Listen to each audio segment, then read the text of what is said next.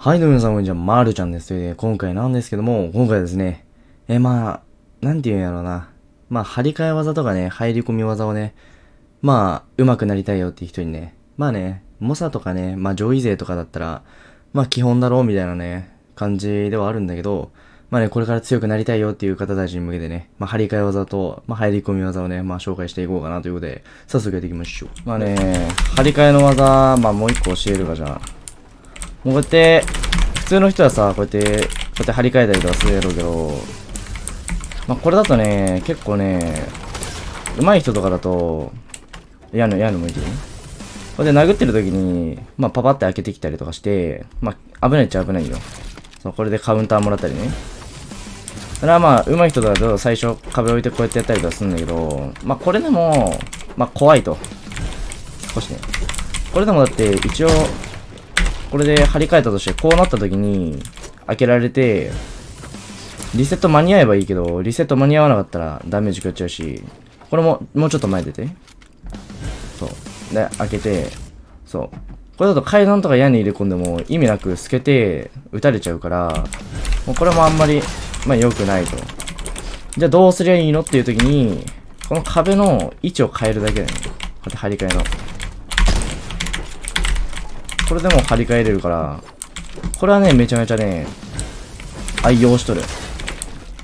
これを、普通にこうやって張り替える時とかって、こうやって張り替えて、こうやって張り替えたとかできるけど、これもカウンターをもらう可能性が高くて、張り替えた、張り替えれなかったってなった時に、上手い人はもうここで開けて打ってくるわけよ。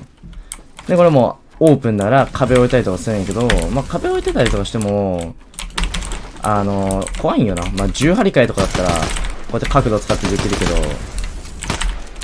おい。あ、硬いこれ。硬いこれ。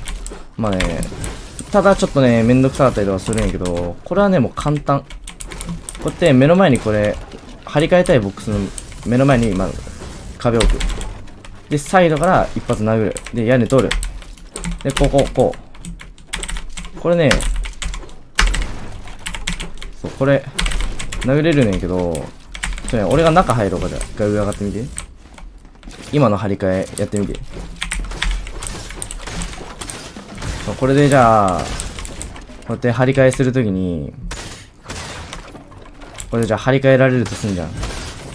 張り替えられたカウンターしようってなっても、ほぼ見えないよ、これって。で、ほん、ちょっとよ、壁側に寄ったら、そう、もうほぼ見えないの。で、これって、この壁に寄った状態でも、この、ちょっといい？そう。壁に寄った状態でも、これって、このヒットポイント？これ殴れば、壁隠れた状態でも張り替えてできちゃうんですよ。壁隠れた状態でも、このヒットポイントって、壁越しでも基本的に殴れるんで、そう、これね。あともう壁を床を置くだけっていうので、もうこの張り替えは強いよねっていう。まあね、上手い人とかだと、ここに壁とかも置かれるんで、まあ、先にね、事前編集とかするのもありかなと思う。これで張り替えられる、張り替えて、開けた時にここに置かれるとめんどいんで、まあ、こことここに壁を置いて、こうやって張り替えて、でもこれで打つっていうのはまあ強いかもしれない。まあこれで逃げる方向、ここに床が置いてあるから、でもしここ張り替えた時にこっち逃げられたとしてもこれでピースコントロールもできるし、そうそう。で、これでカウンターをもらうリスクも少ないと。そう。で、これで、こうやって張り替えの時に、あ、殴っちゃった。こうやって張り替えてる時に、張り替えたって開けても、もう、こっち見、そっちから見えてないから、からこれでもう、打ってリセットとかでも、まあめっちゃ強いかな。まあこれをうまくはめれば、まあめちゃめちゃ強いよっていうやつだね。まあこれは覚えておいた方がいいかもしれない。張り替えの時とかって結構ね、上手い人はね、すぐカウンターとか入れてくるんで、まあこういう目の前とかの張り替えも、できるだけ控えた方がいいのかなとは思う。できるだけこうやって上から角度つけたりとかして、これ張り替えをしたりとか、まあ、こっち屋根を張り替えるとか、壁側行くとね、すぐこう降りると、ピースコントロールされて囲まれちゃうんで、周りを。まあね、危ないかなっていうのはある。これって屋根とかの階段とかの張り替えって、ちょっとこれ。こっち、張り替え側いける？そう、これ階段の張り替えって実は、ボックス、ここ、こっちの壁開けなくても、上開けたら屋根置けるんですよ、ここに。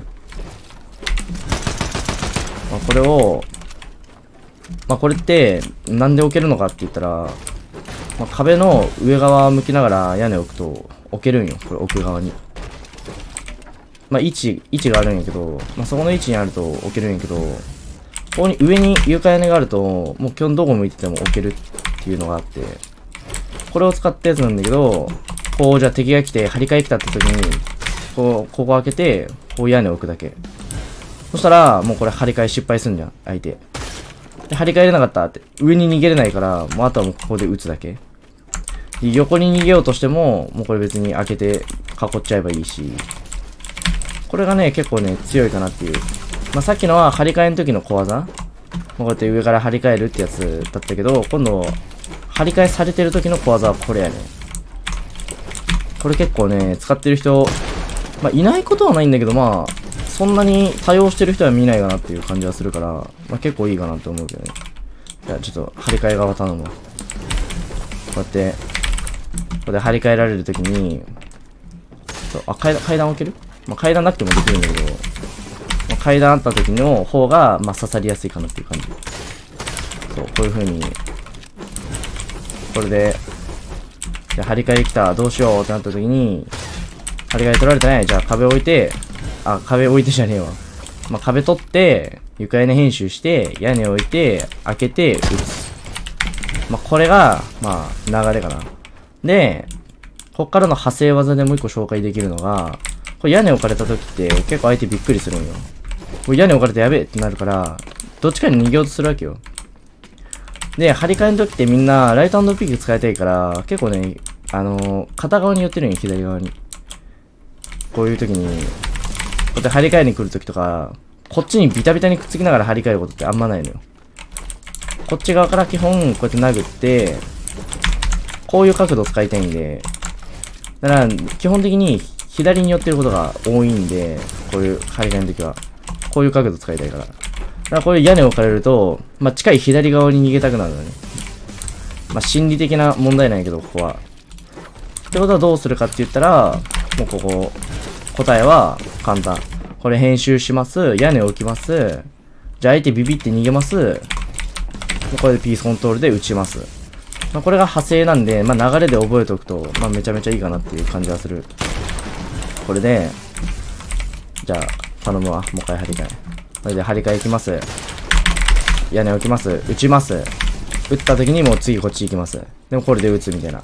これ流れで覚えておくと、まあね、ここでまあ、まあね、ここ開けないで、まあ横ピースコントロールしに行ってもいいんだけど、まあ来るかわからないんで、まあここで一発撃って、当てたら、まあほぼ確定で左に逃げるんで、当てたら次こっちピースコントロールしに行くっていう流れがあると、まあね、綺麗に倒せるんじゃないかな。えー、これ、入り込みの、まあ、タイミングっていうか、まあこれはね、まあ運とかにも、運っていうか、まあ自分のタイミングにもよるんだけど、ね、斜めから入るとね、すごいやりやすいんだよね。みんなこうやってさ、真下からこうやってビタビタに入り、つきな、くっつきながら、こうやってやるから入りにくいんであって、これ助走つけながら、こうやってやるとね、すごい入りやすいの。出して出してそう。ここで壁張ってあるじゃん。みんなって、こうやって行ってこう行くんだよ。で、ビタビタに張り付いてるから、助走もクソもないから、まあ、ジャンプのタイミングさえ合わせちゃえば、頂点につくタイミングで、殴る。これで入れるんだけど、まあ、タイミングで。